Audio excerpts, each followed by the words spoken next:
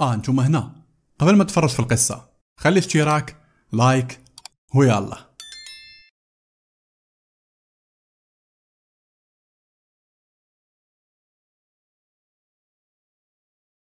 سوفيان Stories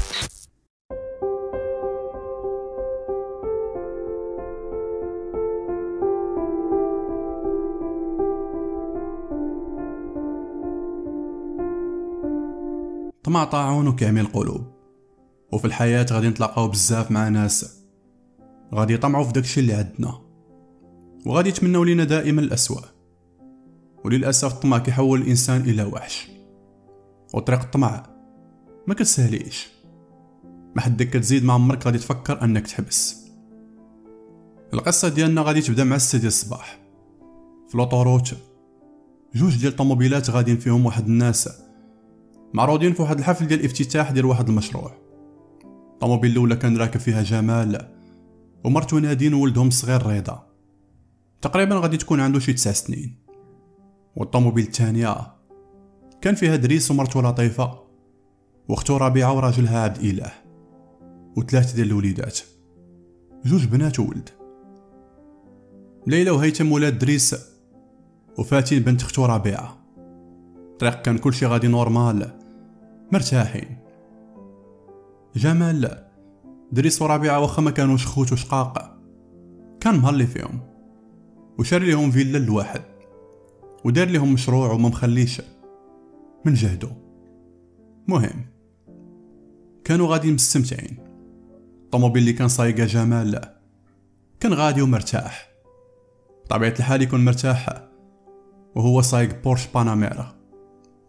وبحال هاد النوع ديال الحديد كيخليك تجبد الكابلي عكس الطوموبيل اللي كان فيها دريس طوموبيل على قد الحال. مهم. جمال كان سابق دريس في الطريق. من بعد تقريبا نص ساعة ديال الطريق خرجوا من لوطوروت. وتموا غادي في الطريق العادية. جمال بقى غادي بنفس السرعة حيت أصلا هو من هواة السرعة. في وسط الطريق غادي يخرج ليه كلب. معرف ما يدير ديك اللحظة جمال لا. وآخر حاجة كان يتقبلها هو أنه يقتل حيوان. ما دار حتى شي ذنب. الكلب مسكين صمر في بلاصتو بالخلعة. وجمال ما كانش عنده حل. من غير أنه يقلب الفولون. وهنا قدر أنه يهرب من الكلب. ولكن جمال لقى قدامه شجرة كبيرة.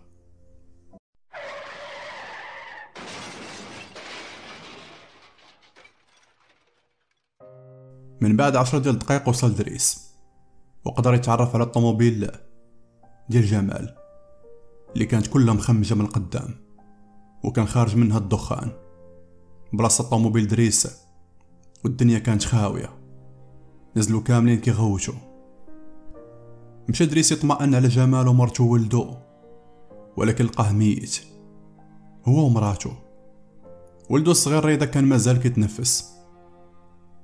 واخا كان مجروح وغارق في دماياتو من حسن الحظ أنهم كانوا دايرين ليه الصمتة ديك اللحظة وقف دريس وبقى كيشوف في ختو وراجل ختو ومرتو وبحال كيقول لهم فهمتوني ولا لا؟ ديك اللحظة دارو كاملين شافوه في فريدة نقزات خد دريس وقالت ليه شنو غادي نديرو بيه ما تقولش ليا. غادي تقتل ولد خوك. قال لي دريس الدري كينزف بزاف. كيف ما كيبان لك غارق في دماياتو غادي نلوحوه بعيد. وأنا متأكد ما غاديش يقدر يعيش. جمال ومرتو ماتو إذا حنا خوتو غادي نورتو الثروة ديالو كاملة. اش بان ليكم؟ بقاو كلهم ساكتين. قال لهم دريس اللي عنده شي اعتراض ينسحب دابا. ديك اللحظه كلشي بقى ساكت. نقزات خت دريس وقالت ليه ولا جاو ال gendarmes شنو غادي نقولوا ليهم؟ قال لي دريس سهلة. ملي خرجنا من l'autoroute كانت واحد القهوة في القنت. غادي نرجعوا ليها. ندخل أنا ناخذ قهوة. وندور مع ال serveur باش يعقل عليه. ملي غادي يجيو الجندارم غادي نقولوا لهم باللي. كانوا سابقيننا والفرق بين الطوموبيلات غادي يخليهم يتيقوا. والنوطة ديال القهوة غادي تأكد هادشي كامل. نقزات ديك اللحظة لطيفة مر دريس وقالت لهم وريدة شنو غادي نديرو معاه؟ شكون غادي يديه؟ قال لي دريس راجل أختي ربيعة هو اللي غادي يديه. وحتى الجندارم ما غاديش يسولو عليه. حيت هو بعيد على العائلة. كاملين طمعوا في الفلوس. وراجل ربيعة خد دريس. ما كانش عنده خيار من غير أنه يوافق. خصوصا الظروف المادية ديالو صعيبة مؤخرا. هز رضا وتم غادي به. طلع دريس والبقية في الطوموبيل. ورجعوا من الطريق من الأول. اللي جاو منها. وعاود تاني عاودوا دخلوا l'autoroute وعاودوا خرجوا للطريق العادية. دازو عند مول مول ديك القهوة. كيف ما كان ناوي دريس. خدا القهوة ديالو ودور معاه ال serveur. وبقى كيضحك معاه. من بعد خرج هز الطوموبيل ديالو. ومشاو نيشان للمكان ديال الحادث. ملي وصلوا تما كانت الروينة. وبزاف ديال الناس مجهوقين براسا دريس الطوموبيل وتم غادي اتجاه الطوموبيل. غير قرب حداه بدا كيتمرغ في الأرض. وكيبكي. وقفوا الجندارم وقال ليه شكون أنت سيدي؟ قال ليه أنا خوه خوه مسكين. بقى كيشوف في داك الجندارم وقال ليه العجب كيفاش؟ كيفاش عرفتي بلي خوك؟ والطوموبيل تقريبا محروقة كاملة. تصدم ديك اللحظة دريس. ومن حسن الحظ ديالو كانت البلاكة ديال الطوموبيل مازال ما قاستاش العافية. بقى كيبكي دريس وقال ليه البلاكة ديال الطوموبيل ديال خويا هادي. ديك اللحظة جاو العائلة كاملين كيبكيو. كان مشهد دراماتيكي مليء بالنفاق. قال لهم ال gendarmes نتوما كاملين غادي تلتحقوا بينا باش ناخذوا الإفادة ديالكم. مشاو كاملين. وملي كان ال gendarmes كياخذ الإفادة ديالهم اكتشف في المحضر بلي الطوموبيل ديال جمال كانوا فيها ثلاثة ديال الناس. كيف ما قال دريس؟ قال لي الجندارم؟ انت قلتي بلي الطوموبيل فيها ثلاثة ديال الناس.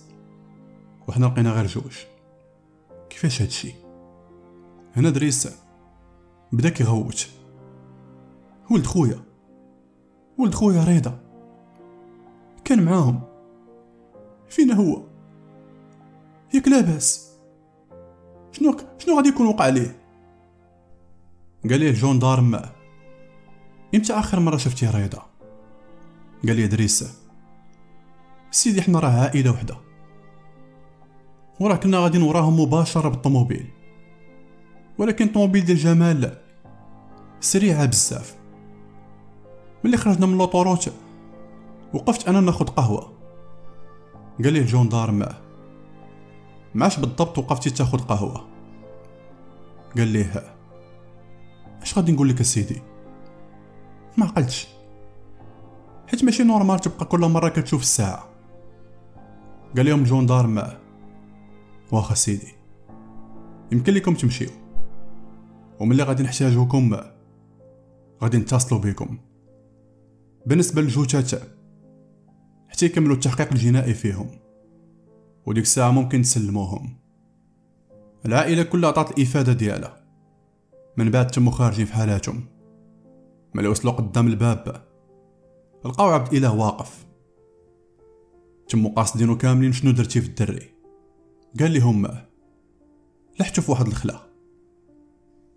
واصلا كنظن بلي الدري مات. حيت ما بقاش كيتحرك. بدا كيبتسم دريس. وبحالها عرف بلي تسوقرات لي هاد l'affaire هادي. ركبوا في الطوموبيل ورجعوا في حالهم للفيلا. من بعد سيمانة على الحادث ال gendarmes والناس المختصين داروا التحريات ديالهم كاملة. ولقاو بلي الحادث كان عادي وما لقاو حتى شي معلومة على رضا من بعد شهر مشى دريس اختو للمحكمة بحكم أنهم خوت جمال طالبوا بحقهم في الورث كيف ما كيقول الشرع. وكيف ما قلت لكم في الأول الطمع طاعون وكعمي القلوب دريس واختو خداو الثروة كاملة. بطبيعة الحال حصة الأسد. كانت من نصيب دريس. اللي سنة ورا سنة كان كيزيد في الثراء ديالو. لدرجة كبر الشركات وزاد فيهم. وبدات الفلوس كتدخل من كاع الجوايه الفلوس خلات دريس عطيها غير الزهول الليالي الحمراء. ومرتو حتى هي ما كانتش مخلية من حقها. تبدلات 360 درجة. عشرين عام دازت. دريس بنى قصر كبير في طنجة. ولا من أشهر رجال الأعمال ولدو هيثم طلع نسخة مصغرة منه. ما كان غير الحديد والبنات. وما كان كيدير والو في حياته. وأي حاجة بغاها خاصو يجيبها صحة. وشحال من بنت ضحك عليها حيت كان مخاطر مع صحابو أنه غادي يجيبها. بنت دريس الثانية ليلى. كانت هي نقطة الضوء الوحيدة في العائلة ديالو. بنت متبتة زوينة داخلة سوق راسها وما كتشبه لتا شي واحد من الوالدين ديالها. كانت كدير الخير ومشاركة في جمعيات وديما باك يعيب فيها حيت كدير هادشي كملات القراية ديالها في كلية الطب وقدرات من بعد أنها تفتح عيادة لطب الأسنان. وكان دايرة مبلغ رمزي حيت كان كيعجبها تعاون الفقراء أما رابعة خدريس ولات سيدة أعمال معروفة وكانت كتعاون مع خوها أما راجلها مسكين عبد اله كان دايره تحت الصباط حيت هاد الخير كامل كان سميت ربيعة وما كانش قادر مسكين يهز الرأس. أما بنتهم فاتين كانت بنت عادية في كل شيء. في الزين ديالها في القراية كانت كتقرا التجارة. وحاجة وحدة كانت شاغلة بالها هي أنها تتعرف على شي واحد وتعيش مع قصة حب زوينة بحال ديال الأفلام. فاتين كانت هي المقربة لبنت خالها ليلى وما كانوش كيتفارقوا. واحد النهار كانت راجعة ليلى من كابيني ديالها. في الطوموبيل طارقه المزيكا وعايشة الحياة. ومرة مرة كضرب طيله على الإنستغرام. كان ديك الساعة 8 ديال الليل. في الوقت ديال الشتا كانت الظلمة كطيح دغيا. والدنيا كتكون خاوية. داكشي علاش؟ ليلى كانت غادة مكستله في الطريق. اللحظه اللي كانت ساهية وكتشوف في الإنستغرام ديالها. مع هزات راسها لقات مرا كبيرة قدامها. وعلى بونت. كانت غادي تضربها. دارت فرنسيك. والمرا مسكينة تخلعات وطاحت الأرض. نزلت ليلى مخلوعة. باش تطمئن على السيدة. لقاتها كتبكي. ليلى قلبها كبير. بقى فيها الحال. وبدات كطلب منها السماحة. وكتبكي ولكن ديك المرة ما كانت كتقول والو ناضت ديك المرة مسكينة وتمت غادة في حالاتها. وبحالها كانت كتعرج. قالت ليها ليلى صبر لالا غادي نوصلك فين غادة؟ بقات كتلح عليها حتى وافقات ديك المرأة. ركباتها ليلى في الطوموبيل. وتمت غادة بها. الطريق كلها وهي كتقول لها سمحي لي عافاك تمت ليلى داخله لواحد الحي شعبي فيه غير المكارب والضو ما فيش الدنيا مظلمة والطريق كلها محفرة. من بعد عشر ديال الدقايق وسط داك الحي. قالت لي هاديك الشيبانية صافي ا بنتي غا هنايا. قبل ما تنزل ديك المرا شداتها ليلى من يديها. حلات الصاك ديالها وعطاتها شي بركة ديال الفلوس. وقالت لها عافاك قبليهم مني. وسمحي لي. عطاتها carte visite ديالها. وقالت لها إلا خصاتك أي حاجة مرحبا بك. نزلت ديك المرة ومشات في حالاتها. بلا ما تقول حتى شي كلمة. ضربات ليلى دوميتور. ورجعت في حالها. في الطريق وقف عليها واحد خونا خاسر. قال لها نزلي من الطوموبيل.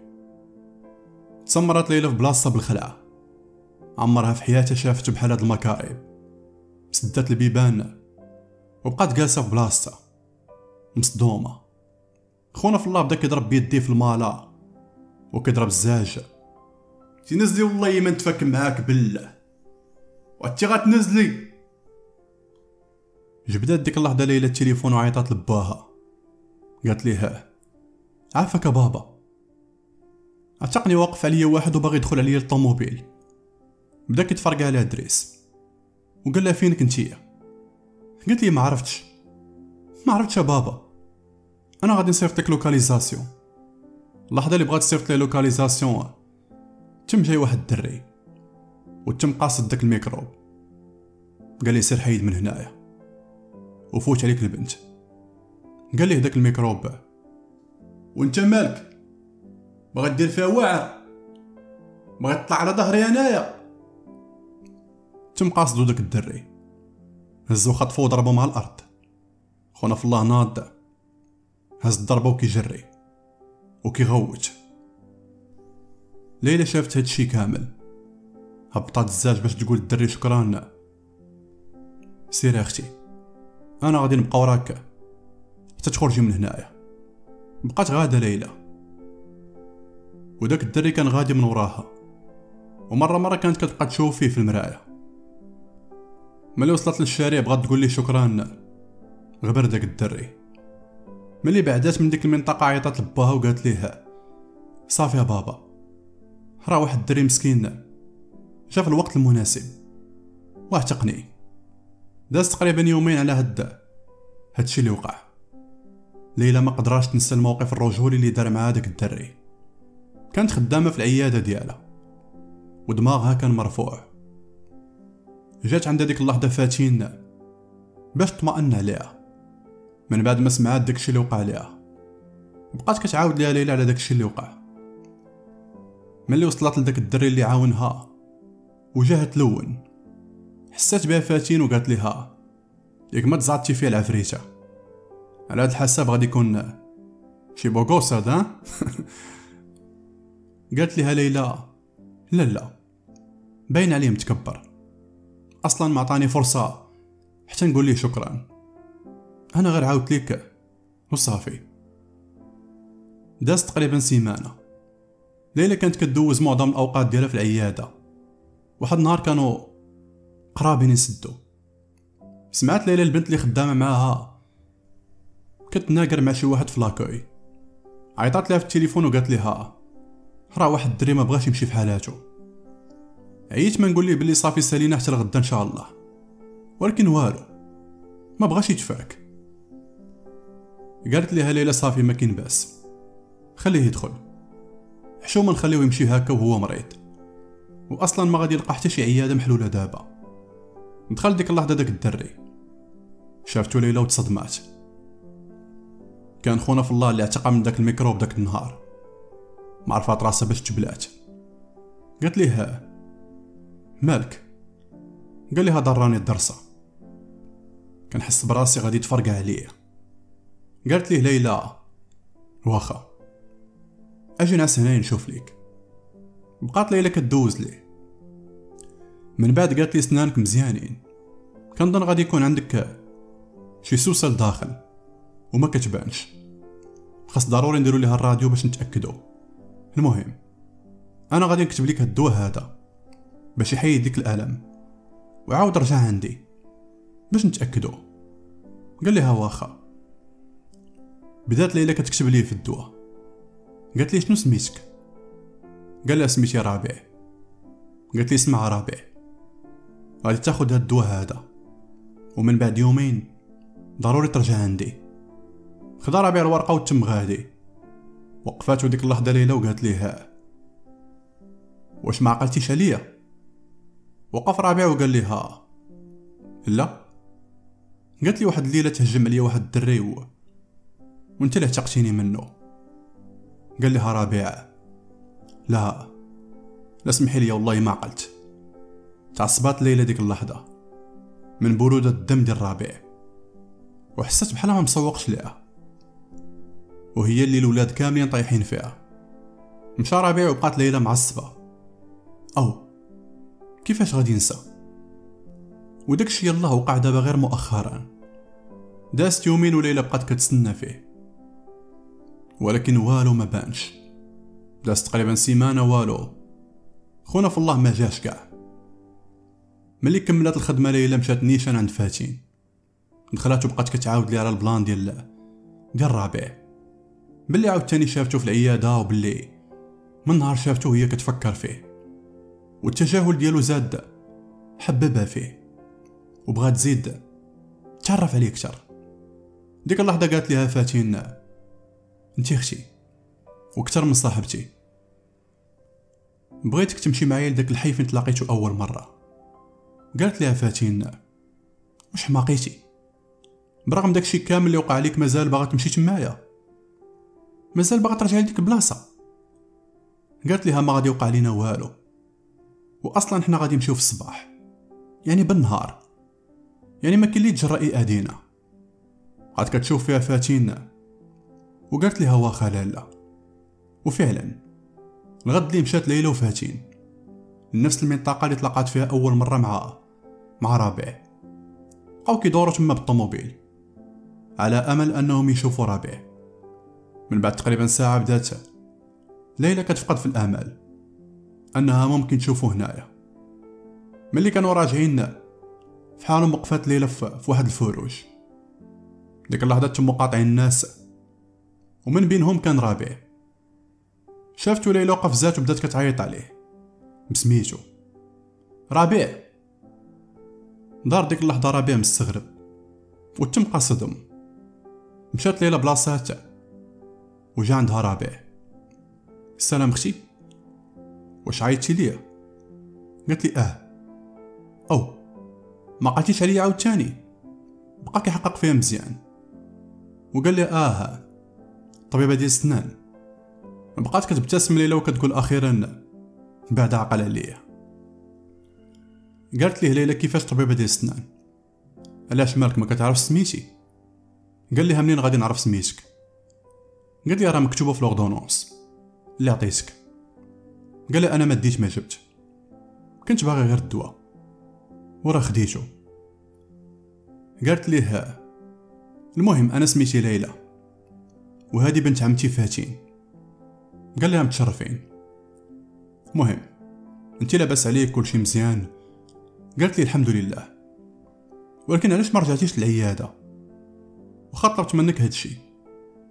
قال لي صافي وليت مزيان. بداك الدواء اللي عطيتيني. ما كلاش عاوتاني نرجع عندك. دابا كنحس مزيان. قال لي شنو كديري هنايا؟ ياك ما كتقلبي عليا. حشمات ديك اللحظة ليلى. قالت لي في ديك البلاصة اللي هيها كان تلقى لي واحد الشمكار وانت جيتي عتقتيني وقفتي معايا حتى خرجت من داك الدرب. قال لي ها ربيع. آه عقلت. عقلت عليك. ديك اللحظة فرحات ليلى.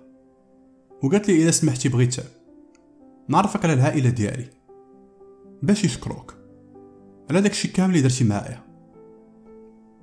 قال لها شوفي.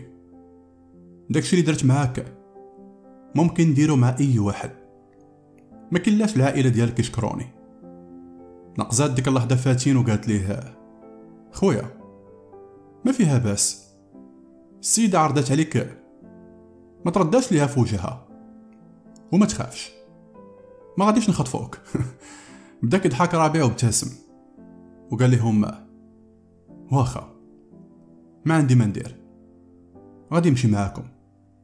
صبروا عليا نمشي نبدل حوايجي ونرجع. مشى ربيع تفركس مزيان.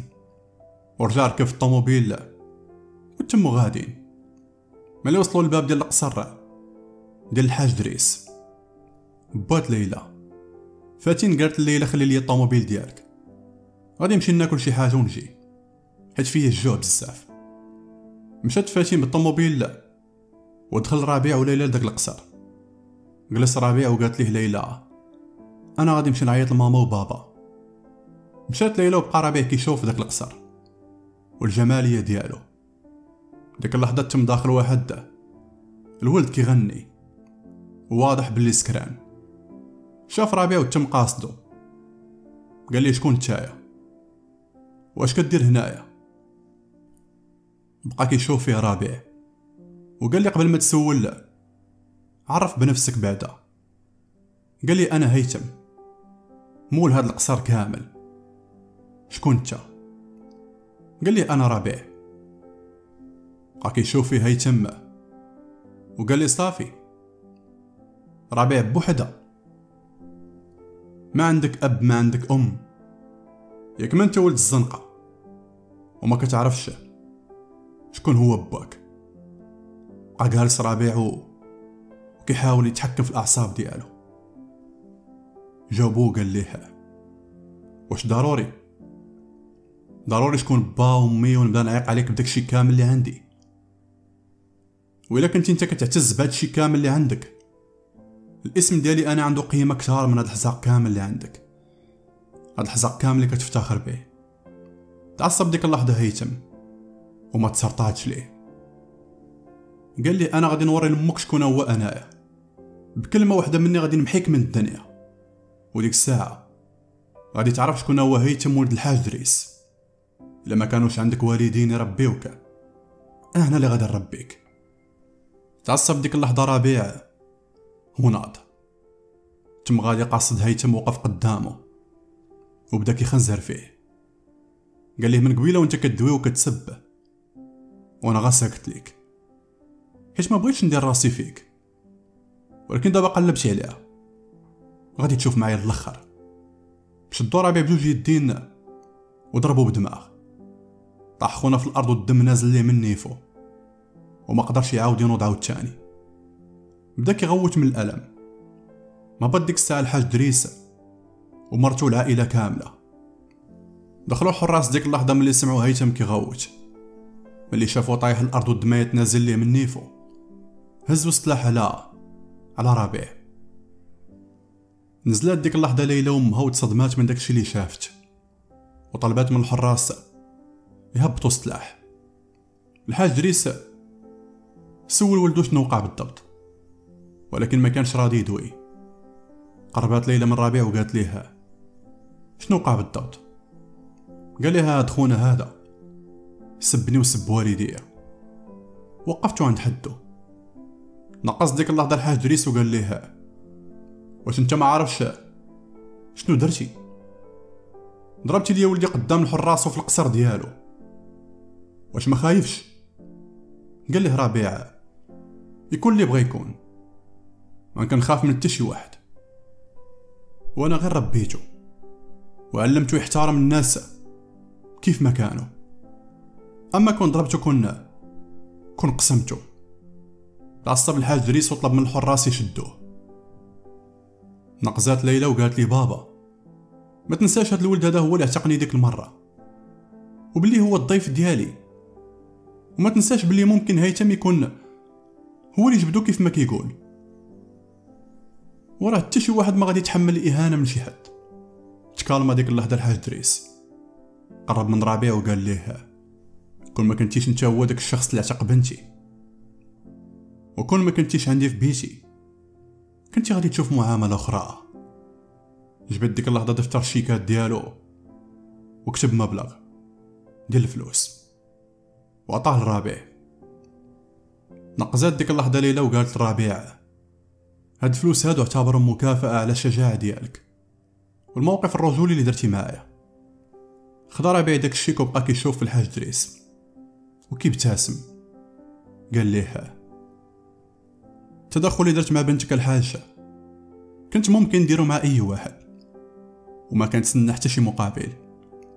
ولكن واضح بلي نتوما ما كتفهموش هادشي داكشي علاش ولدكم ما. صرف معايا هكاك. بقى كيشوف فيهم ربيع ديك اللحظه وشرك داك الشيك. وتم غادي في حالو تبعاتو ليلى كتجري وقالت لي عافاك سمح لي. سمح لي بزاف. وما تديش على خويا. هو داير هكاك. قال لي ربيع ما ديريش بالك انتي أصلا مالك والو. قالت ليه ليلى واش مازال غادي نشوفك؟ قال لها بطبيعة الحال. غادي ندوز عندك العيادة. مشى ربيع ودخلت ليلى للقصر. هنا غادي نمشيو عند فاتين. ملي وصلوا للقصر وقالت لهم بلي غادي نمشي ناكل شي حاجة. دخلات فاتين لواحد الريستو. كلاتهم اللي كانت خارجة لقات شي واحد حاط الماكلة فوق المالا وكياكل. ملي قربت من حدا وقالت ليه شنو كدير؟ واش انت مريض؟ اش كدير؟ قام ما تسوق لي أخونا في الله. وبقى كياكل. بقات فاتين كتغوت عليه. خونا في الله بقى كياكل وقام ما تسوق ليها. وكمل الماكلة ديالو. جمع الزبل وقال لي ها أنا كملت. مالك؟ مالك غادا طيري قربت من حدا وقالت لي خويا واش أنت شوية لاباس؟ الناس داروا المطاعم باش ناكلو فيها لداخل ماشي ناكلو فوق الطوموبيلات ديال عباد الله. بقى كيبتسم وقال لي ها أختي أنتي لاباس عليك. من حقك تاكلي في المطاعم الكبيرة. أما أنا غير مقرد. وما فحاليش وتا دابا ما وقع والو بقى فيها الحال ديك اللحظة فاتين ملي سمعت هاد الهضرة. تم غادي داك الدري وعاود تاني رجع قال لي الصراحه باز باز لهادي اللي غادي يتزوج بيك. خلاها واقفه مسمره وتم غادي. قالت ليه ماشي حتى للدرجه هادي. قول لي شنو سميتك وقف ديك اللحظة داك الولد. وقال لها سميتي رضا ابتسمت وقالت ليه أنا سميتي فاتين. ضحك رضا وقال لها اسم على غير مسمى. تعصبات فاتين وما حملاتش راسها. قال لها غير كنضحك معاك. قالت لي فاتين اسمح لي. حيت تصرفت معاك هكاك. قال لها واخا ما كاين مشكل. وتم غادي. بدات كتغوت فاتين. وقالت لي وانت ما غاديش تقول لي اسمح لي قال ها ملي غادي نتلاقاو المرة الجاية؟ فكريني نقولها لك. بقات فاتين مسمرة في بلاصة وما حملاتش راسها. عاوتاني عاود وقف ريضه وقال ها غير كدبت عليك. صراحة فاتين اسم على مسمى. ابتسمت ديك اللحظة فاتين طلعت للطوموبيل ومشات نيشان عند ليلى باش ترجع ليها الطوموبيل ديالها. ملي وصلت لقات الدنيا مرونه طلعت للبيت ديال ليلى ولقاتها كتبكي. قربت منها وعاودت لها ليلى شنو وقع هنا بالضبط. بدات كتواسي فيها بالليل. ما ديرش بالها. وهذا غير سوء تفاهم. داز تقريبا يومين. على هادشي اللي وقع. كانت ليلى في العيادة كتسنى ربيع. باش تزيد تعتذر منه على داكشي اللي وقع. اليوم الثالث مع ديك 12 ديال الصباح. كانت ليلى غادا الكابيني ديالها. ملي وصلت قبل ما تدخل لقات ربيع جالس كيتسنى. دخلت ليلى وقلبها كيضرب بالجهد. وفرحانة بزاف ما عرفاش علاش. ديك اللحظه جات عندها البنت اللي معاها في الكابيني. وقالت لها بلي كاين واحد المريض. قالت لها دخليه دخل ربيع وعاوتاني طلبات منه ليلى السماحة. قال أنا نسيت الموضوع صافي. اللي وقع وقع. قالت لي برافو عليك. ما خفتيش من الحراس. قال لي أنا كنخاف غير من الله. قد كدوي مع ليلى في بزاف ديال المواضيع. وما كانتش عارفة كيفاش تدخلو باللي بغات تخرج معاه. باش تعرف عليه كتر قالت الرابع اسمح لي. اسمح لي دقيقة أنا جاية. خرجات وعيطات لفاتين وقالت لي عتقيني. جي دابا العيادة. راه كاين معايا ربيع وما عرفت ما نقول ليه. قالت لها فاتين صافي أنا جاي في الطريق. رجعت ليلى عند عند ربيع الفحص مولفه كدوزو في ربع ساعة مع ربيع دوزاتو في نص ساعة. دارت كل ما في جهدها باش تعطل الوقت بين ما وصلت فاتين. كانت فاتين ديك اللحظة جاية بسرعة كبيرة. وفي هاد الوقت ريدا كان دايز من حدا ال cabinet. وديك اللحظة بانت لي الطوموبيل اللي كانت فيها فاتين. بدأ كيبتسم. وجاتو على بالو فكرة. جبد ورقة وكتب فيها شي حاجة. باش يحط عليها في الطوموبيل.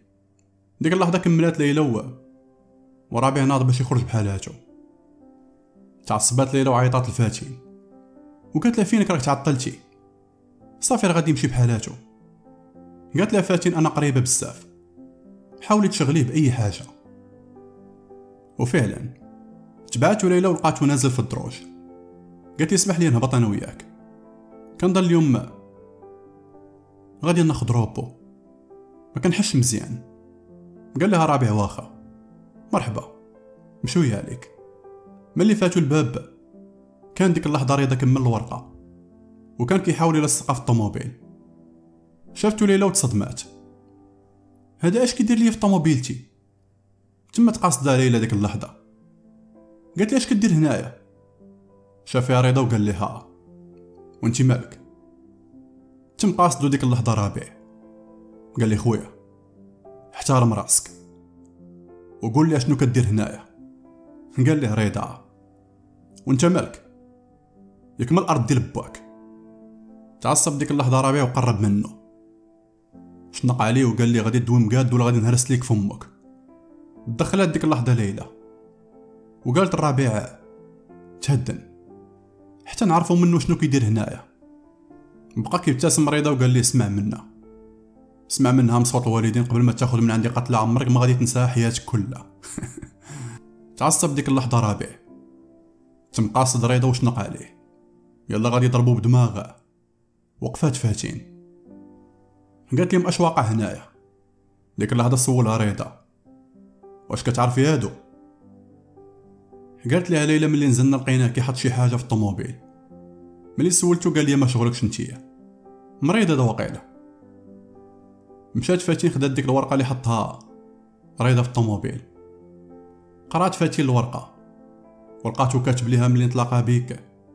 فكريني نقول لك سمحي لي رجعت عندهم فاتين وهي كتبتسم وقالت لهم هذا غير سوء تفاهم. رضا كنعرفو. ويصحاب ليه بلي هادي طوموبيلتي. قربت من حداها ليلى وقالت لها شكون هاد رضا عمرك ما عاودتي لي عليه قالت لها غادي نعاود لك من بعد. بقى ربيع كيخنزر في رضا وما حملوش. قال ليلى أنا أنا غادي نمشي في حالاتي. ملي كنا في الدروج قلتي لي بلي اليوم غادي تاخدي روبو. يلا.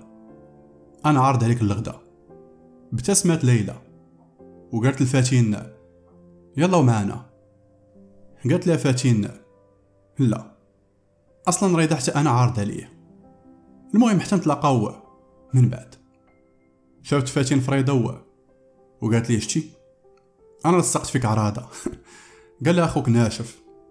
عندي 15 درهم. نمشيو نضربو بها الطون. جيت البحر قالت لي شنو رأيك؟ نعرض عليك أنا في أفخم المطاعم في طنجة.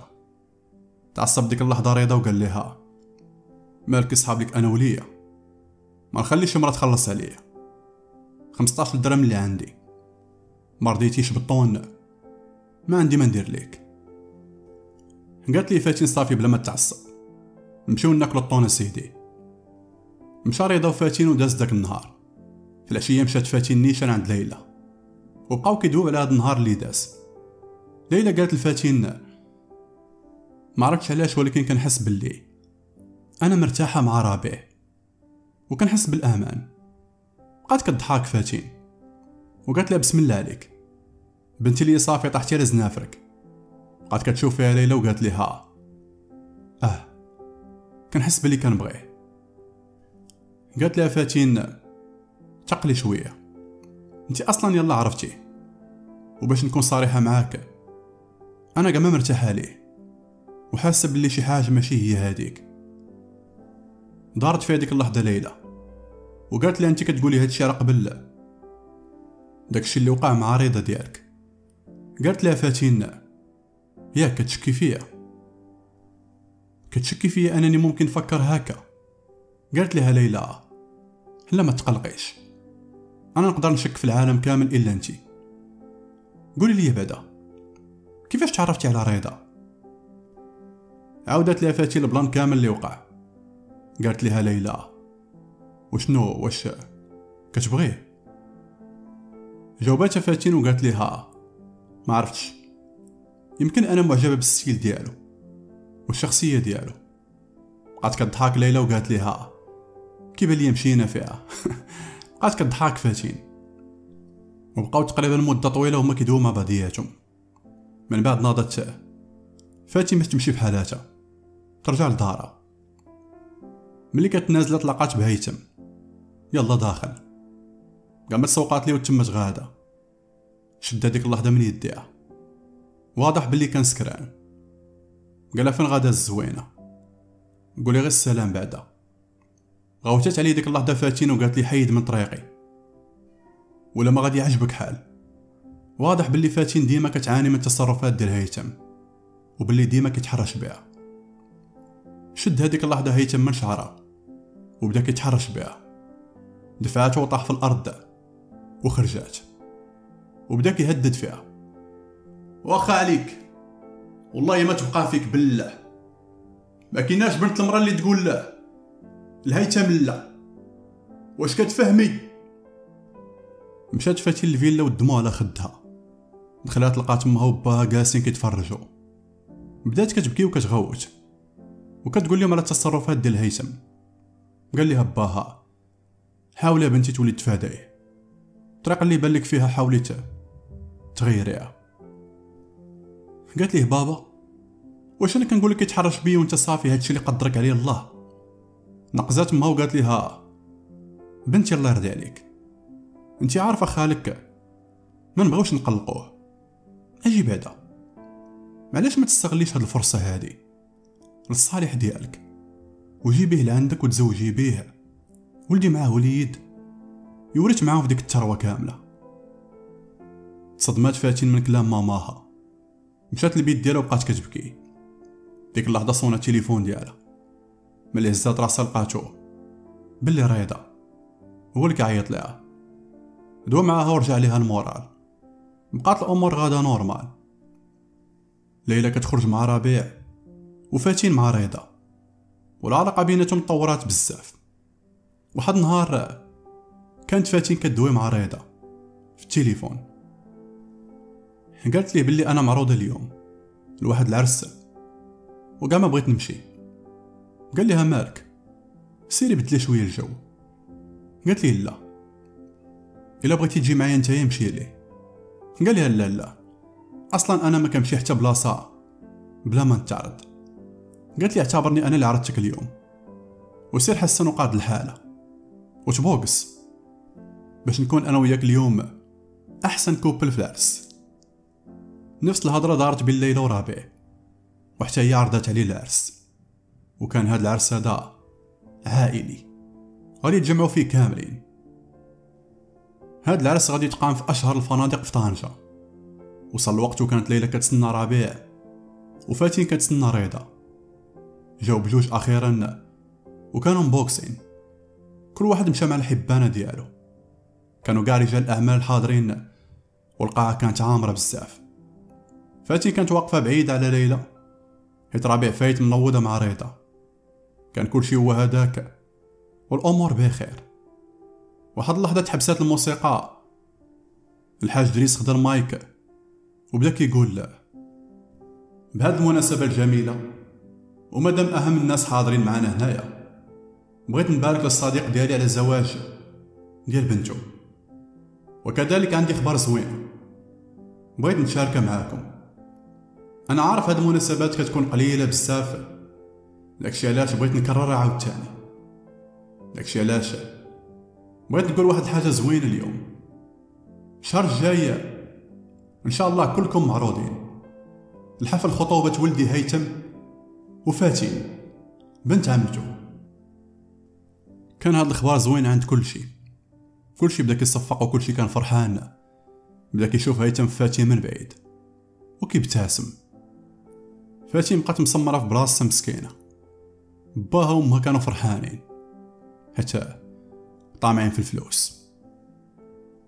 وبين عطاو الموافقة بلا ما يتشاوروا مع فاتين فاتين اللي بقات واقفة مصدومة و وريضا كيشوف فيها. قال لي ها صافي هادشي علاش جايباني؟ بغيتيني نسمع هادشي مباشرة ياك. انتقمتي مني. خرج ريضا وهو كاعي.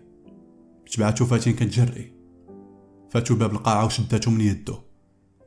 قالت لي والله ما كنت عارفة. والله ما عارفة حاجة. قال لي ها واضح. واضح كتفلي عليا أصلا كنتي غير كدوزي بيا الوقت. بقات كتبكي فاتين وقالت لي ما تقولش هكا.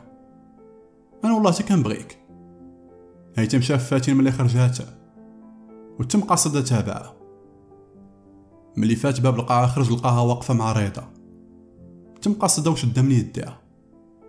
وقال لها شكون هذا؟ غوتات عليه فاتين وقالت ليه وأنت مالك؟ طلق مني. وبعد مني. خلاها مريضة وكمل طريقه. فاتين بدات كتغوت على هيثم مرضاش هو بدا يصرفق فيها. شدها من شعرها وتم غادي مدخلها القاعة يلا غادي يدخلوا مع الباب. شدو ريضة من يديه وقال لي كان كيصحاب لي انت راجل. ولكن اللي كيدير هكا مع بنت عمو. من لحمه ودمه.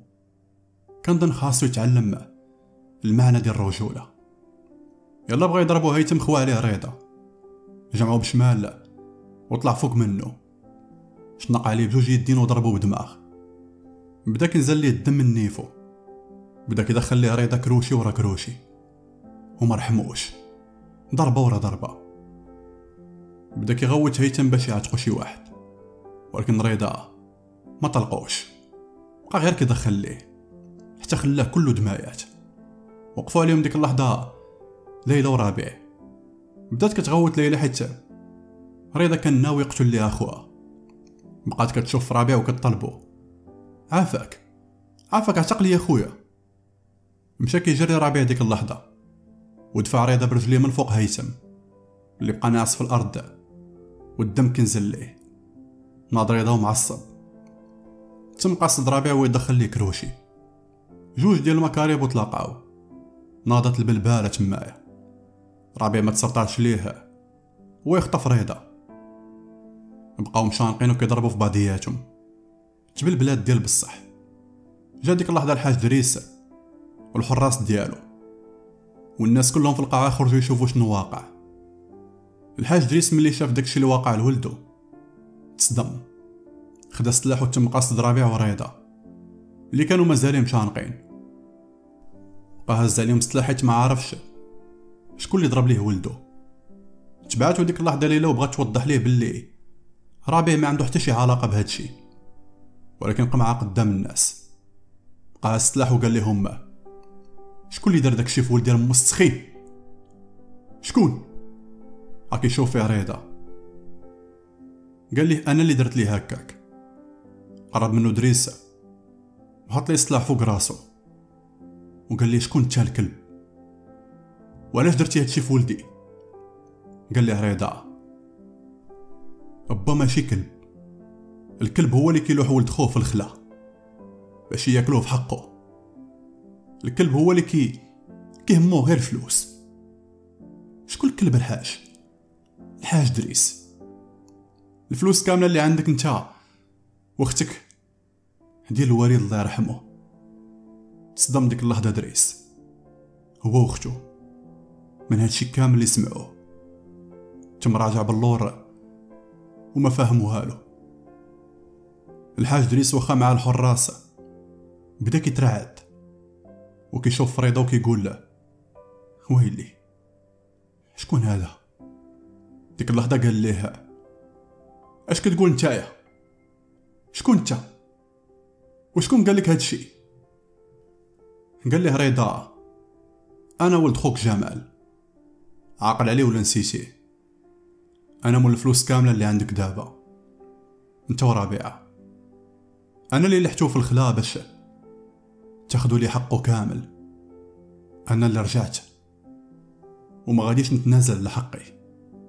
اسمعني. طول ما أنا عايش. الوالد ديالي غادي يبقى ديما عايش. بقى دريس واقف ومصدوم. كان باغي يقتل رضا ولكن كانوا بزاف ديال الناس حاضرين. وفي الأخير مشى في حاله. كانت ليلى تصدمة بامتياز ولكن هاد الخبار كان صعيب على ليلى بزاف. رضا طلع ولد عمها اللي من المفروض يكون مات شحال هادي. وعمرها توقعت بلي باها وخالتها ممكن يديروا بحال هكا في ولد خوهم ويلوحوه في الخلا. أما فاتين كانت مصدومة وغير كتفكر. أو. واش يكون زعما كان كيضحك عليا هاد المدة كاملة؟ باش يتقرب من ماما وخالي؟ واش يكون زعما ما ما تلاقاش بيا غير بالصدفة؟ وهادشي كامل كان مخطط ليه؟ بقات فاتين غير كتفكر بقات واقفة قدام باب القاعة والناس كلهم كيشوفوا فيها. من بعد غيبات. داو فاتين لدارها ومشات ليلى حتى هي. ورضا وربيع كل واحد مشى في حاله. دازت يومين على هادشي اللي وقع. العائلة ديال الحاج دريس كلهم كانوا مصدومين. في داك الصباح جاهم إشعار من المحكمة. باللي كاين واحد الشخص كيدعي باللي هو ولد جمال خوهم. وباللي قاع داكشي اللي خلاه المرحوم جمال هو ملك ديالو. تصدم الحاج دريس وحس بالخطر. ويلي؟ هادشي كامل غادي يمشي لينا. اجتمع هو وختو باش باش يشوفوا شنو غادي يديروا الحاج دريس عيط على المستشارين القانونيين ديال الشركة باش يتشاور معاهم في هاد المصيبة اللي اللي هو فيها. في ذاك الوقت عيطات فاتين للرضا باش تلاقى بيه وتسولو بزاف ديال الأسئلة كاينين في دماغها. وفعلا تلاقات بيه في واحد القهوة غير شافتو قالت ليه أهلا ولد خالي. باينه كنتي مخطط لهاد الشي كامل. ياك. قال لها رضا. هادشي واضح. الجواب هو أه. ولكن المشاعر ديالي اتجاهك الصراحة ما كنتش مخطط لها. بقات كتبكي فاتين وقالت ليها أنا شنو ذنبي في هادشي كامل؟ بدا كيغوت عليها رضا وقال لها وأنا شنو ذنبي شنو ذنبي يلوحوني في الخلا أنا ما غاديش نخلي حقي. وقولي ليهم باللي. كي صحاب ليهم باللي ما غاديش نعرف نثبت النسب ديالي. من الحظ الوالدين ديالي ماتوا في كسيدة. وفي هاد الحالة كتخاد منهم عينة الدم. أنا غادي نطالب باش ياخذوا مني عينة الدم. ويطابقوها مع العينات المحفوظة بملف القضية. وخا دازت عشرين عام. غادي نقدر نثبت النسب ديالي. وغادي نطالب بالورد ديالي. وديك الساعة العائلة ديالك كلهم غادي نلوحهم في الخلا. ناضت فاتين ديك اللحظة وقالت ليه دير اللي بغيتي. وإلا كانوا هما ظلموك. هادشي ما كيعنيش أنك تظلمني أنايا. أنا غادي نسافر. ونبعد وما غاديش نرجع تاني لطنجة. نتوما كاملين كتشابهوا. عزيز عليكم الفلوس. ناض عندها رضا وقال لها. من حقك تقولي بحال هكا حيت أصلا انت ما كبرتيش في الفقر وما غاديش تعرفي شنو كيعني البرد والصهد. سيري سافري أحسن حاجة ممكن ديريها ما نبغيش نشوفك حاضرة وأنا كنتاقم من العائلة ديالك. تمنيت لو تلاقينا في ظروف واحدة أخرى. مشات فاتين والدموع على خدها في ذاك الوقت كان الحاج دريس داير اجتماع مع المستشارين القانونيين ديال الشركة. اللي قالوا ليه إلا طلع بصح ولد خوك راه غادي ياخد الثروة كاملة ديالو. وغادي تكونوا مجبورين تعطيوها ليه.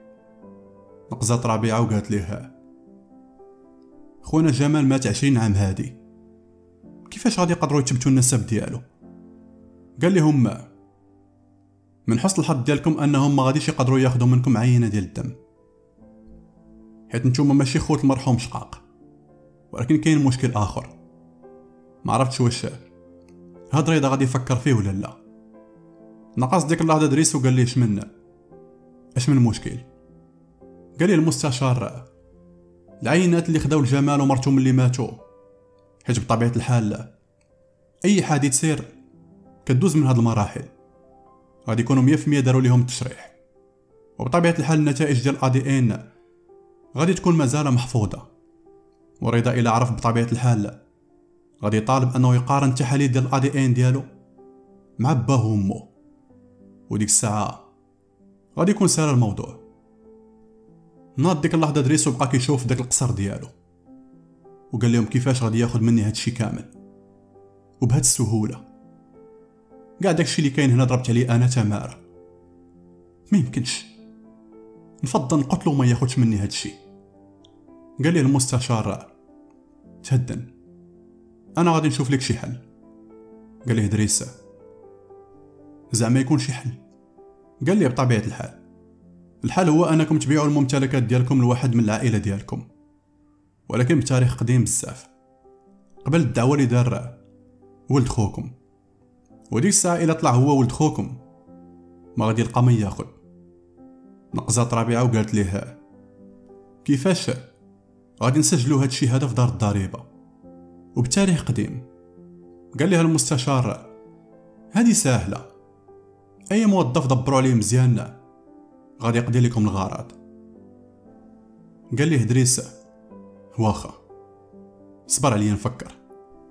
قال لي المستشار واخا الحاج. ولكن ما تنساش باللي ما بقاش عندكم بزاف ديال الوقت. داك الوقت وصلات فاتي للقصر. طلعت نيشان عند ليلى وهي كتبكي. وعاودت لها شنو وقع بينه و... وبين رضا وباللي قررت أنها تسافر. قالت لها ليلى صافي غير حيت وقع لك معاه مشكل غادي تمشي. قالت لها الموضوع ما غاديش يسالي هنايا. رضا ما غاديش يسكت وما غاديش يخلي الحق ديالو. وممكن هادشي يوصل لكارثة. تخلعات ليلى ديك اللحظة. حيت عارفة باها وخوها اش كيسواو. عنقات فاتين وقالت لها سافري. ولكن وعديني ملي سالي هادشي كامل. رجعي. قالت لها واخا. تم تغادى فاتين من بعد عاود تاني وقفات. وقالت ليلى إلا قدرتي تبعدي انت وربيع من هاد الصداع كامل. غادي يكون حسن ليكم. قالت لها ليلى ما نقدرش. كيف ما كان الحال هادو العائلة ديالي. مشات فاتين واللحظه اللي كانت خارجة من القصر تلاقات بامها وخالها بقات حادرة راسها. وقالت لامها بلي غادي نسافر. وبلا ما تحاولي من عيني. ولكن قبل ما نمشي بغيت نقول لكم شي حاجة مهمة. رضا راه غادي يطلب مقارنة تحليل ا دي ان ديالو مع ديال باه بهادشي غادي نكون درت اللي عليا. الحاج دريس وختو كانوا مصدومين من هاد الخبر واخا كانوا متوقعينه. الوقت ما بقاش وما كان عندهم حتى شي حل من غير أنهم يتنازلوا لشي واحد في العائلة ديالهم. باش يحميو هاد الثروة كاملة. جلس دريس وختو بقاو كيناقشوا هاد الموضوع. شكون هو هاد الشخص اللي ممكن يثيقوا فيه؟ بقاو كيقولوا في الأسماء. وتا واحد فيهم ما كان جدير بالثقة. نقزات ديك اللحظة ربيعة وقالت ليلى وفاتين ومادام فاتين غادي تسافر اذا ليلى هي اللي ممكن تثقوا فيها. قال لها دريس آه ليلى ممكن تثقوا فيها هي الحل. عيطوا على ليلى ديك اللحظة وجات جلست معاهم. قال لها الحاج دريس بنتي انتي عارفة عمرنا كذبنا عليك. وهذا اللي خرج دابا كيقول باللي هو ولد عمك. راه غير نصعب واش يرضيك نبقاو ساكتين؟ ويدي لينا هادشي كامل اللي ضيعنا في حياتنا كاملة. قالت لهم ليلى ولكن بابا راه ممكن يكون هو نيت بصح. والتحاليل غادي تبين كل شيء. قال لها بنتي التحاليل ممكن تزور. هذا راه نصعب اسمع بنتي أنا كنوعدك باللي لا طلعوا التحاليل هما هادوك. غادي نعطيه فلوسو كاملين. ما نضيعو في والو. قالت لي واخا بابا شنو المطلوب مني دابا؟ قال لي ها غادي نكتب بسميتك الأملاك كلها. باش إلا زور النتائج ديال الحمض النووي ما غادي يلقى والو. ما غادي يلقى ما ياخد. ولا تاكدنا حنا من بعد باللي هو ولد عمك. غادي نعطيه الميراث ديالو كامل. قالت لهم ليلى صافي أنا موافقة. فرح ديك اللحظة الحاج دريس. وقال لي ها الله يرضي عليك بنتي. مشات ليلى لبيتها. قربات ديك اللحظة ربيعة من خوها وقالت ليه دريس كيفاش غادي تعطيه الميراث ديالو كامل؟ إلا تأكدنا أنه هو. بدأ كيضحك دريس. وقال لها غير كذبت عليها. ما تكونيش غبية. داز داك النهار. الغد ليه جا العون القضائي. وسجلوا الممتلكات كاملة بسميته ليلى. بتاريخ قديم. ملي كانت غادة ليلى عيط لها الحاج دريس. وقال لها سينا بنتي هاد الورقة. قالت ليه ديالاش قال لها هذا تنازل ديالك على الممتلكات. لي أنا وعمتك. رابعة. بقات كتشوف فيهم ليلى وهي مستغربة. قال لي إحنا تايقين فيك بنتي ولكن راك عارفة الحق حق. سينات الورقه ليلى وقالت لهم ما تخافوش فلوسكم أمانة عندي. داكشي اللي كان مخطط ليه وقع.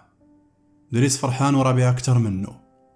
ليلى ولات كتحس بالوحدة ملي سافرات فاتين. كانت باغا تخوي قلبها. داكشي علاش اتصلت بربيع. ودارت معاه يتلاقاو. وفعلا تلاقاو في واحد المطعم وعاودت لي داكشي كامل اللي وقع بالتفصيل الممل. بقى كيضحك ربيع وقال لي على هاد الحساب انت وليتي خانزة فلوس هاري دبر عليا. بقات كضحك قالت لي منين؟ فلوس كاملة ما نقدر ندير بها والو حيت ماشي ديالي. واصلا غادي نرجع عليهم كاملة. قال لي هذيك اللحظة. وريضه ولد عمك. ما كتفكريش ترجع لي الحق ديالو؟ قالت لي بابا واعدني بلي غادي يرجع لي الميراث ديالو كامل. قال لي ها ربيع وكظني ممكن بابا كيدير هادشي. جاوباتو شنو كتقصد؟ قال لي ها ربيع أنا ما كنقصد والو. غير هو كيبان ليا هذاك حق رضا. قالت ليه ليلى؟ بابا غادي يعطيه داكشي كامل اللي جا في حقه. أما رضا كنظن بلي طامع وباغي يدي داكشي كامل. بقى كيشوف فيها ربيع وقال لها احيان عليك العفريته عجبوك الفلوس. والصراحة حتى واحد ما يسخب داك القصر الكبير اللي عندكم. تقلقات ليلى وقالت لي شنو كتقصد؟ زعما أنا طماعة. قال لي لا. لا لا غير شي أسئلة كانوا في بالي و... وصافي. قالت لي هاني سيدي أنت تسول ودير اللي بغيتي. أصلا أنت هو كلشي في حياتي دابا قال لي ها. باباك قال لكم بلي غادي يعطي الرضا الحق ديالو. اللي جاه في الميراث. والحق ديالو مسكين ديال التشرد والطريقة اللي لاحوه بها في الخلا. تعصبات ليلى ديك اللحظة. وقالت لي شوف ربيع يدبروا راسهم.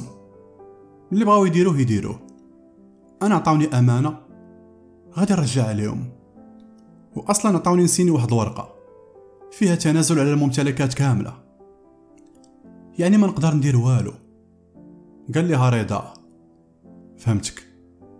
صافي يلا نمشيو حالاتنا. كنظن بلي القصة قريب تسالي بقات جالسه ليلى. وقالت لي شنو كتقصد؟ اش من قصة؟ وكيفاش غتسالي قال لي ها ربيع. القصة ديال خونا في الله. العائد للانتقام. ما ديريش ببالك.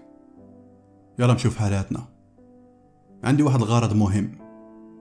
ناضت ليلى وما عجبهاش الحال. عنق ربيع وقال لها ما تقلقيش. وكيف ما قلتي حنا بعاد على هادشي. يدبروا راسهم. خرجات ليلى مع ربيع وقال لي عافاك وصليني لواحد البلاصة. خاصني ضروري نقضي واحد الغرض. وفعلا وصلات ليلى.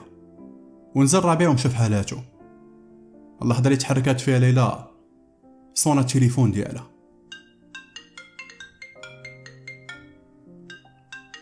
ألو؟ ألو ليلى. هربي. هربي ما ترجعيش هربي. سمرت في بلاصة ليلى بالخلعة. تقطعت المكالمة عاوتاني حاولت تتصل به.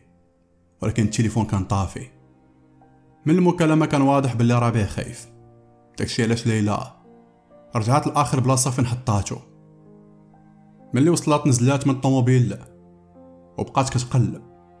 وكتعيط بسميتو ولكن والو. غبر ليه الآثار. تمت غادا راجعة للطوموبيل. باش تمشي عند البوليس. ملي بغات تحرك بالطوموبيل لا. ما رداتش البال بلي معاها شي واحد آخر في الطوموبيل. وبلا شك طلع ليها ملي كانت نازلة. يلا بغات démarrer. يلا بغات démarrer كراطها وحط لها توب. فيه مادة مخدرة. بقات ليلى كتقاوم. من بعد غيبات. داز تقريبا ساعتين وليلى مغيبة. ملي فاقت. بدات كتحل في عينيها بشوية. ملي قدرات تشوف. لقات راسها في شي بلاصة بحال المخزن.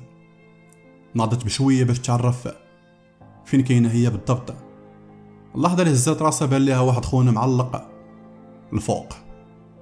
رجليه الفوق وراسو لتحت. كان كله مجروح وعامر دمايات وباينه في آثار ديال التعذيب بقات غادا بشوية. وشاده في راسها حيت كان كيضرها بزاف. ملي دارت الجهة اللي كان فيها الوجه ديال داك خونا في الله معلق. تصدمات ملي لقاتو ربيع واضح باللي عذبوه بكل وحشية. بدات كتغوت ديك اللحظة. فيق ربيع ربيع شكون دار ليك هادشي؟ كان ربيع مغيب ولكن بدا كيحل عيني بشويه وملي شافها قال ليها علاش ما هربتيش؟ هي قلت لك هربي. بقات ليلى كتبكي وبدات كتغوت. باش يجي شي واحد يعاتقو. بقات كتغوت. شكون هنايا؟ واش كاين شي واحد هنا؟ وديك اللحظة تسمعوا الخطوات. وبقاو غاديين وكيقربوا ليها. ملي وقف حداها كان رضا. قال لها بركه من البكا حيت أصلا مازال غادي نقطعو طراف صغار. ونعطي المجاحم ياكلو أصلا. كيبقاو مساكن بالجوع. بدات كتبكي. قالت لي عافاك. هو ما دار والو. علاش كدير لي هادشي؟ قال أصلا من نهار شفتو ما حملتوش ما دخلش لي خاطري. ونهار ضربت أنا وياها حلفت عليه. ولكن بصح. كلامك صح. هو في الحقيقة ما دار لي والو. وحتى انتي ولكن العائلة ديالك دارو. كيف ما أنا حق الوالد ديالي خاصني نرجعو؟ حتى انت الحق ديال باك خاصك تحطيه. مبقاش كتبكي. وكتقول لي عافاك خلي ربيع. راه ما عنده حتى شي علاقة. خاصنا نعتقوه قبل ما يموت. قرب من حداها رضا وقال لها أنت اللي بإيدك تعتقيه ولا تخليه يموت. قالت لي كيفاش؟ قول لي شنو ندير وغادي نديرو؟ بدأ كيبتسم رضا ديك اللحظة. تبارك الله عليك. ذكيه أنا سمعت باللي كلشي ولا ملكك دابا. كلشي ولا ملكك أنتي. وأنا باغي داكشي كامل. موجد الوراق موجد كلشي غادي تسيني. وغادي نخليك أنتي والحبان ديالك. أش بان ليك؟ بقات ساكتة ليلى وكتفكر. فهاد فلوس كاملة وماشي من سهولة تفرط فيها. وباها إلى عرف مية في المية غادي تصدم. قال لها رضا. واخا. ما بغيتيش. انت حرة. مشى جاب ديك اللحظة الصوت.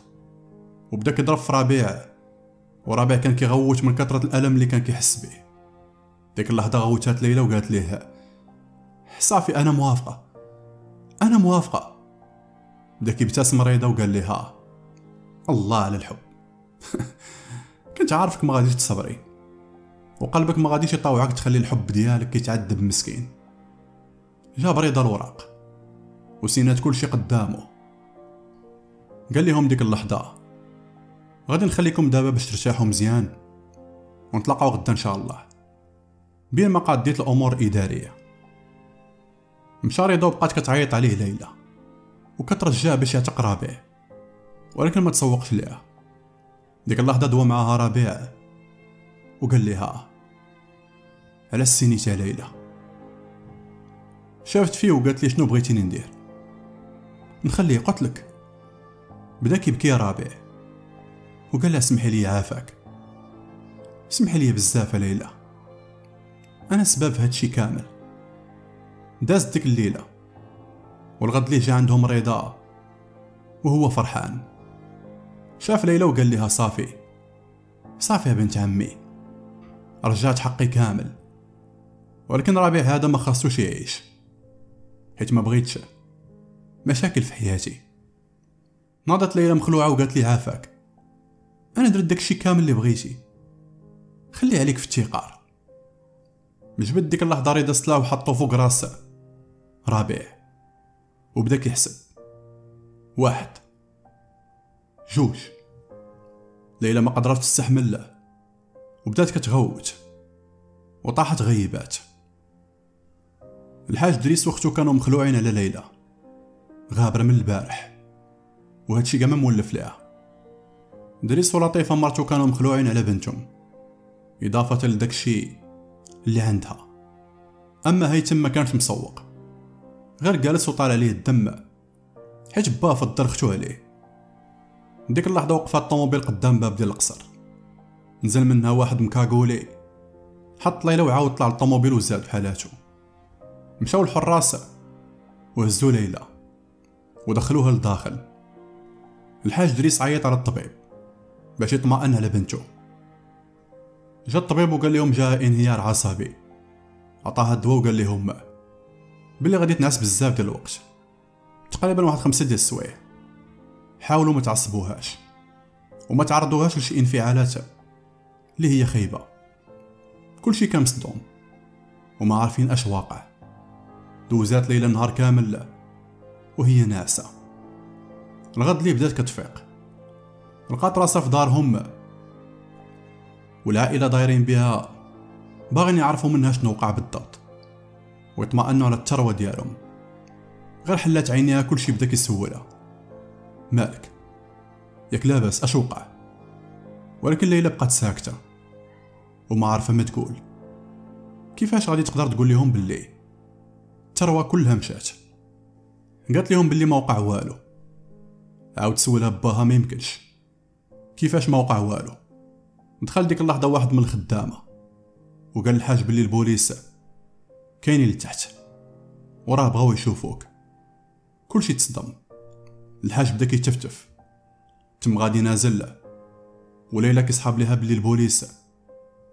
جاو على قبل داكشي اللي وقع معاها ومع رابع نزلت بصعوبة تبعاتهم.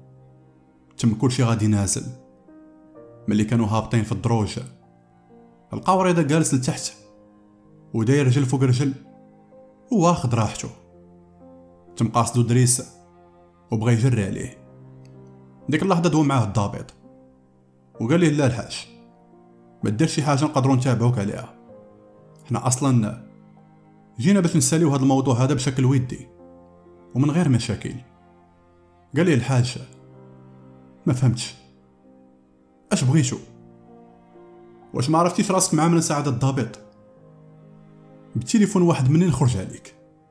قال لي الضابط بلا تهديد الشريف أنا خدمتي كنديرها وجاي باش ننفذ حكم المحكمة. قال لي دريسة ما فهمت والو. أش من محكمة؟ قال لي الضابط السر اذا قدم اوراق كيتبت فيها الملكية ديالو. لكل شيء. ومن بينها هاد القصر هذا تصدم ديك اللحظة الحاج دريس وكان غادي يطيح. أما ليلى بقات غير جالسة ومصدومة وما كانش متوقع بلي هادشي كامل غادي يوقع بهاد السرعة. ناض ديك اللحظة رضا وتم قاصد الضابط وقال لي إلا سمحتي سعادة الضابط هادي مشاكل عائلية وأنا غادي نحلها بلاتي هي أحسن. قال لي الضابط اسمع ولدي من الأحسن نكملوا الإجراءات. دابا. على قبل الاستلام قال لي رضا. ماشي مشكل أنا أصلا ما زربانش على خاطرهم. المهم يمكن لك تفضل أنت دابا وأنا غادي نحاول نتفاهم معهم. كيف ما كان الحال هادو كيبقاو العائلة ديالي. مشى الضابط. رضا وقف وبقى كيشوف فيهم كاملين. قال لهم شوفوا فيا مزيان. هادشي كامل اللي كنتو كتفتخروا بيه ما بقاش ديالكم. والحق خداه مولاه. آه نسيت نقدم لكم الوالده ماما. ماما. كلشي تصدم ديك اللحظة. ما فهموا والو. حيت عارفين باللي موت رضا. ماتت في الكسيده ملي دخلت المرا بقات كتشوف فيها ليلى. حيت كتظن باللي كتعرفها مزيان. ملي تأكدات منها قالت ليها انت هي المرا اللي كنت غادي نضربك بالطوموبيل. وصلتك حتى لباب دارك. النهار اللي تعرفت فيه على ربيع. بقات كتبتسم ديك المرا وقالت لها آه. تبارك الله عليك. ذكية. والصراحة داك النهار بقيتي فيا ملي بديتي كتبكي. بديك الطريقة.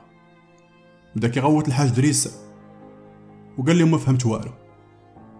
ما فهمت والو أنا من هادشي كامل. إلا كانت هاد السيدة هي الوالدة ديالك. إذا أنت ماشي ولد خويا جمال. أنت نصاب وباغي دير لينا فلوسنا. بدأ كيبتسم رضا. وقال لي برافو عليك. أنا ماشي رضا ولد خوك. وأنا ماشي ماشي نصاب. نتوما اللي جماعة نصابة وكنشكر الدكتورة ليلى اللي سهلت عليا الموضوع. بلا محاكم بلا دعاوي. حيت حنا عارفين شنو كتسوى الحاج دريس. واحد بحالك ممكن يلعب بالنتائج ديال التحاليل. كيف ما بغى. تصدمت ياك. آه سيدي. بنتك تنازلت لي على كل شيء. والبارح رفعت دعوة مستعجلة باش ينفذوا عقد البيع. والحمد لله. كل شيء تقضى بالخف. ودابا ها أنا جيت. تعصب ديك اللحظة الحاج دريس. وتم قاصد ليلى. شد من يديها وقال لي ها واش هادشي بصح؟ دوي. واش هادشي بصح ولا غير كيكذب؟ ياك ليلى غير كيكذب.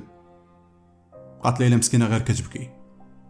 قربات من حداها امها وصرفقاتها قالت لي ضيعتينا ضيعتينا وضيعتي كلشي بالغباء ديالك. قال لي رضا لا لا لا. ماشي حتى للدرجة هي معذورة مسكينة. حيت الحب ديالها كان معلق بين الحياة والموت. قرب رضا ديك اللحظة من الليلة وهمس ليها في ودنها. وقال لي ها الحبيب ديالك رضا راه مازال حي. ما تخافيش. ديك اللحظة ليلى وتخلطوا عليها المشاعر. ديك اللحظة تم داخل رابع من الباب والغريب في الأمر أنه الصحة ديالو كانت مزيانة. كمل رضا الهضرة وقال لهم كل شي سمعني دابا هذا اللي دخل دابا الحاج دريس. هو مول هادشي كامل. حيت نسيت نقول لكم بلي أنا ماشي هو رضا وبلي الاسم ديالي الحقيقي هو ربيع واللي نتوما كتظنوه ربيع هو رضا الحقيقي. هو ولد خوكم جمال. اللي لحتوه في الخلا؟ كلشي تسمر في بلاصتو بالصدمة. من هاد الخبار؟ تا واحد ما قدر يدوي. ليلى حسات باللي قلبها غادي يوقف؟ جلس ربيع الحقيقي حدا مو وتم داخل رضا الحقيقي. قال لي هما بطبيعة الحال نتوما عائلة ما كتشرفونيش. لحتوني في الخلاء باش تاخدوا الورد ديالي. بطبيعة الحال غادي تقولوا كيفاش تعرفتي علينا؟ وقدرتي توصل لينا؟ ملي وقع الحادثة سمعت داكشي كامل اللي قلتوه. وانتوما واقفين قدام الطوموبيل. كنت مجروح صغير مصدوم. كنشوف غير الضبابة. ولكن دماغي كان خدام. وكنت واعي بداكشي اللي كيدور حدايا. وحتى نسيبكم ملي لاحني بدا كيبكي وطلب مني السماحة. هادشي بقى محفور في دماغي. ما فكرتوش ليا. ولكن ربي كبير. ملي لحتوني لقاتني موت رابع كانت أرملة مسكينة وعندها ولي صغير كضرب عليه تمارة. ورغم هاد الظروف القاسية ما تخلاتش عليا. واحدة أخرى كانت غادي تقول مالي على هاد الصداع؟ الوقت اللي العائلة ديالي لاحوني هاد المرأة هزاتني ورباتني بحال ولدها. رابع واللي عاملني بحال خوه. مشى رضا في اتجاه ديال ديك المرأة. باس لها يديها وراسها وقال لها انت أمي وغادي تبقاي دائما أمي. عاود ديك اللحظة وقف وتم غادي عند الحاج دريس. قال لي واش أنت ذكي أنا كنظن باللي الغبي هو اللي كيسحب ليه راسو هو أذكى واحد. أي حاجة دريس حيت كاع ما جات معاك ديك الحاج. أي حاجة كنا مخطين لها من الأول.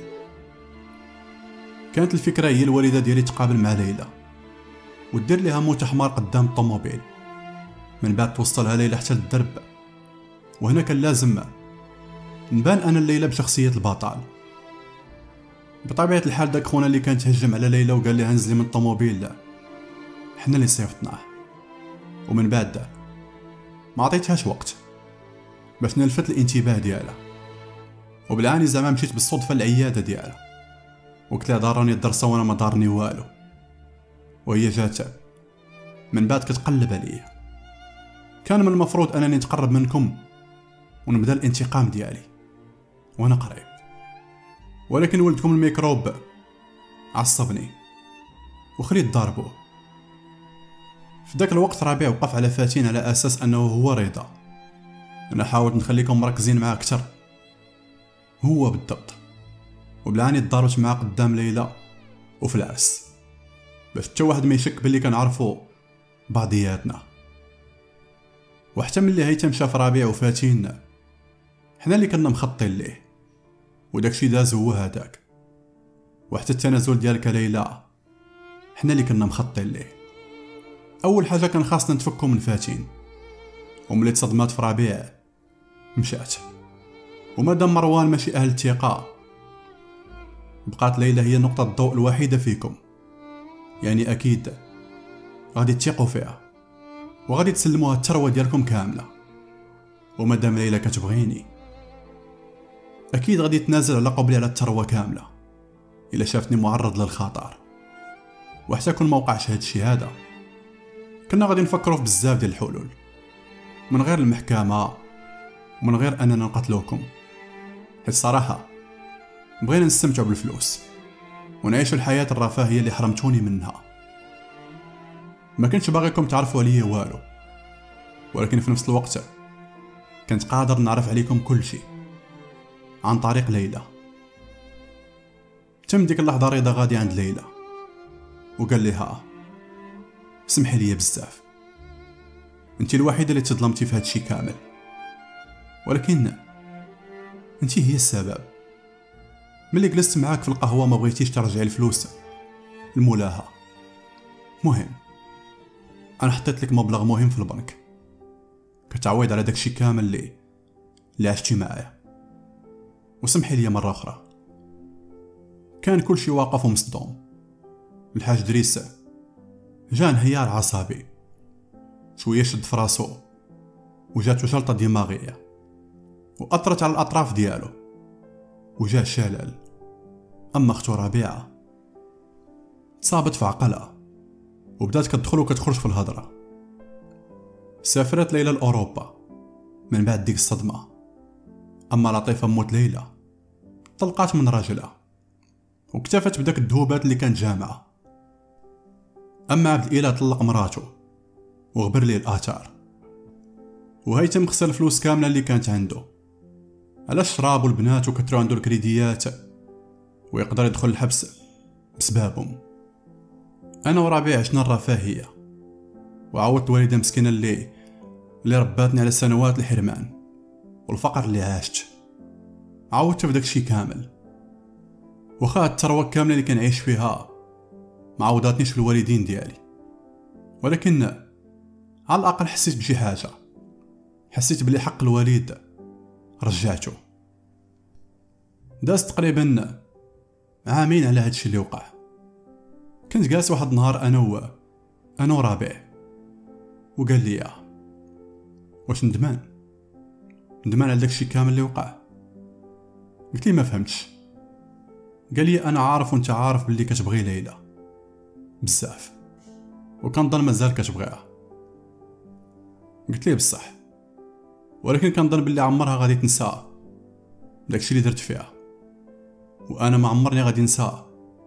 داكشي اللي داروا فيا الوالدين ديالها.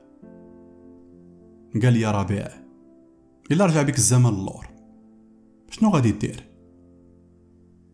قلت لي غادي ندير نفس هادشي كامل اللي درناه. واصلا حتى أنت كتبغي فاتين. وخليتيها. قال لي يا ربيع آه كان بغي فاتين. ولكن الفلوس كان بغيها كتار. قلت ليه؟ أنت كتكذب. ما درتيش هادشي على قبل الفلوس ابتسم ربيع وقال لي آه بصح. أنا كنبغيك انت يا خويا. كنبغيك أنت أكثر من الدنيا كاملة. داكشي علاش؟ نقدر نضحي بمئات وحدة بحال فاتين. قلت لي أنا كنحمد الله وكنشكرو حيت ربي عاودني فيك أنت وماما. وما كنتش عارف حياتي كيفاش غادي تكون. كانت هذه هي القصة ديالي. ملي كنت مازال صغير كان قلبي عامر بالحقد. وكنت ناوي ملي نكبر نقتلهم كاملين. ولكن التربية ديال ماما اللي لقاتني في الخلا وعلماتني معنى الحب والتسامح. داكشي علاش؟ تبدل التفكير ديالي. وقررت ناخذ حقي بلا ما نقتل حتى شي واحد. وديك الساعة نستمتع بالفلوس. وبطبيعة الحال لا. كاع ما كنت داير حساب الليلة باللي غادي نولي نبغيها. ولكن كان ضروري خاصة تضحية. وأنا ضحيت بالحب ديالي ليها باش ننتقم من العائلة ديالها. وأصلا العلاقة ديالنا. عمرها ممكن تكون حيت مكتاب عليها تسالي قبل ما تبدا كانت هذه هي نهاية القصة. إلا كنتي أول مرة غادي تشوف قناة سفيان Stories خلي اشتراك like وما تنساش. ديما سفيان Stories. يا ربي سهل يا ربي آمين.